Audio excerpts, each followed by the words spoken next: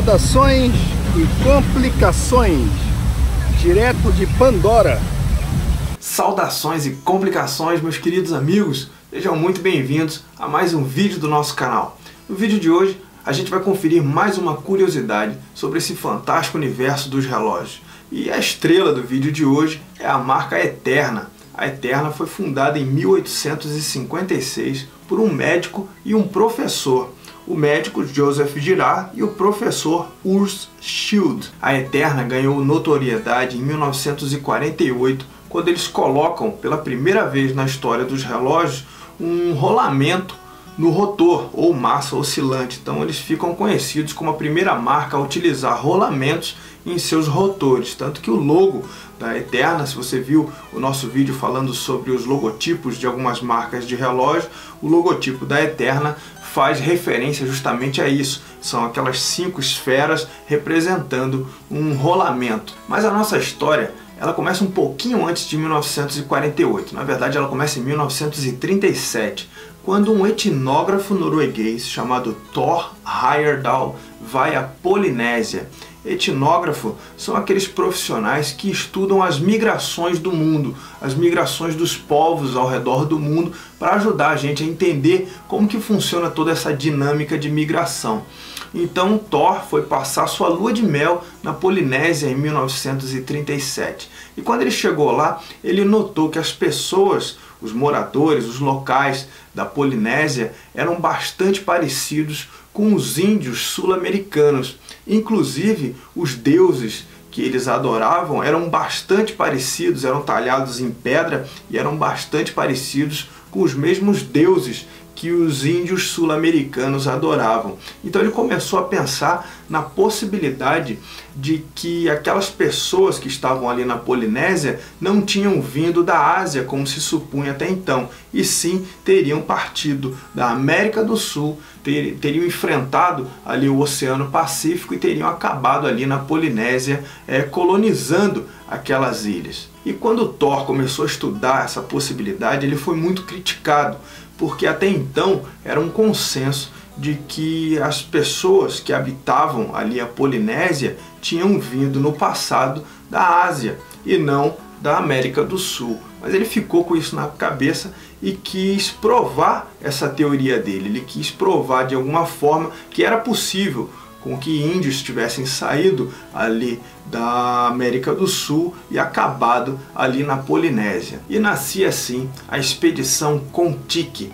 Thor, junto com seus voluntários, queriam produzir uma balsa com os mesmos materiais e utilizando as mesmas tecnologias que os índios antigos tinham para produzir uma balsa e enfrentar os quase 8 mil quilômetros do Oceano Pacífico até chegar na Polinésia. A ideia deles era produzir com as mesmas madeiras, então eles foram até Quito, no Equador, conseguiram as toras da madeira do tipo balsa e trouxeram de volta para o Peru. A ideia era sair ali do Peru e aproveitar as correntes e junto com os ventos, né, e chegar lá na Polinésia. Essa ideia foi muito rechaçada na época porque todo mundo dizia que eles eram malucos de tentar fazer isso com um barco produzido com uma tecnologia muito antiga.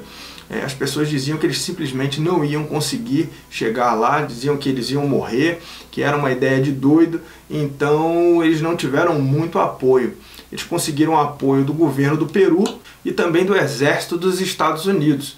A palavra Contique deriva do Inca antigo e significa Deus Sol. Então Thor começou a supervisionar a produção desse barco. Eles pegaram as madeiras, trouxeram para o Peru e numa doca fornecida pelo governo do Peru começaram a produzir essa balsa. E aí você se pergunta, mas onde é que entra o relógio nessa história toda? Thor, quando estava produzindo o seu barco, ele tinha algumas preocupações. Ele não queria levar um cronógrafo marítimo porque eram pesados. E ele tinha muito medo de que esse cronógrafo, numa tempestade, por exemplo, acabasse caindo no mar e impedisse ele de definir qual que era a sua posição, porque eles precisavam de um relógio que fosse bastante preciso e de um objeto chamado sextante que mede a distância, a passagem meridiana, a distância entre o Sol, né, no caso o Sol, e o horizonte, e a partir do horário estabelecido você consegue com cálculos matemáticos definir qual que é a sua posição no oceano. Então, Tort tinha muita preocupação de levar esse equipamento, esse cronógrafo, pelo peso e acabou pedindo ao gerente da Eterna que desenvolvesse para eles um relógio que fosse bastante confiável e resistente a toda essa, essa aventura que eles estavam prestes a se lançarem. E a Eterna aceitou esse desafio e produziu um pequeno lote de relógios batizado de Contique, foi produzido especialmente para Thor e seus amigos para que eles pudessem utilizar em alto mar. Tanto que nas filmagens é bem comum você ver eles utilizando apenas calção, mas ainda assim utilizando seus relógios de pulso, que era um objeto pequeno, então era muito melhor deixá-los no pulso do que deixá-los em algum lugar e acabar correndo o risco de que eles caíssem no mar. Então, algumas imagens como essa que vocês conferem aí agora, dá para ver bem claro eles utilizando os relógios de pulso e, seu, e suas roupas, né, bem limitadas na época. Eles saíram em 1947, em abril de 1947, ficaram 100 dias no mar, 101 dias em alto mar, percorreram quase 8 mil quilômetros e conseguiram sim chegar na Polinésia. É uma história muito bem filmada, bem, bem retratada, tem bastante material falando sobre essa aventura, a maneira que os tubarões, que eles lidavam com os tubarões, os tubarões sempre ao redor do barco buscando se alimentar, eles puxavam peixe, viam peixe comido, eles tinham medo de mergulhar, Thor tinha medo de nadar, então ele não entrava na água. Eles tinham um papagaio chamado Lorita, que era a única companhia feminina que eles tinham, então era engraçado que eles tentavam pegar o papagaio para colocar na gaiola, o papagaio ficava bravo com eles, então eles sempre, o papagaio sempre estava por perto, acompanhando o dia a dia deles dentro da embarcação.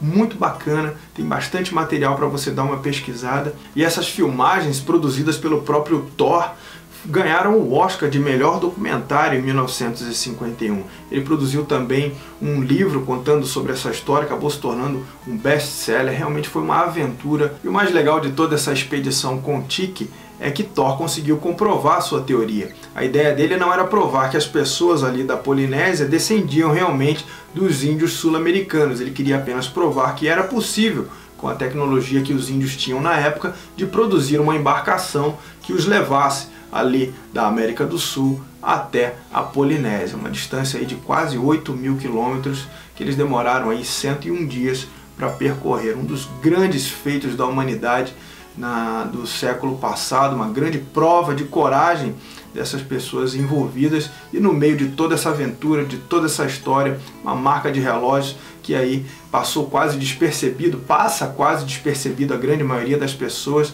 que desempenhou um papel vital, que era o de auxiliá-los a determinar sua posição em conjunto com o sextante. Afinal de contas, se não fosse a utilização do relógio de pulso e do sextante, eles não conseguiriam saber a sua posição e com certeza isso daí iria fadar essa missão ao fracasso. Mais uma prova de que um relógio desempenha um grande papel na nossa humanidade. E o interessante é que demorou ainda 10 anos para a Eterna produzir uma linha comercial, a linha Contic, só foi lançada em 1958, uma linha que é a cara da Eterna, tanto que ela usa esse, esse nome Contic em vários modelos até os dias de hoje. E é legal que no, no, na parte de trás do relógio, no caseback, você tem lá o desenhozinho da balsa até os dias de hoje. Meus amigos, espero que vocês tenham gostado dessa curiosidade. Não deixe de se inscrever no nosso canal, mandar seu vídeo aí mostrando seu relógio, falando saudações e complicações e fazer parte da nossa história. Um grande abraço, que Deus possa abençoá-los sempre e cada vez mais e a gente se vê no nosso próximo vídeo. Valeu galera, um abração, tchau tchau.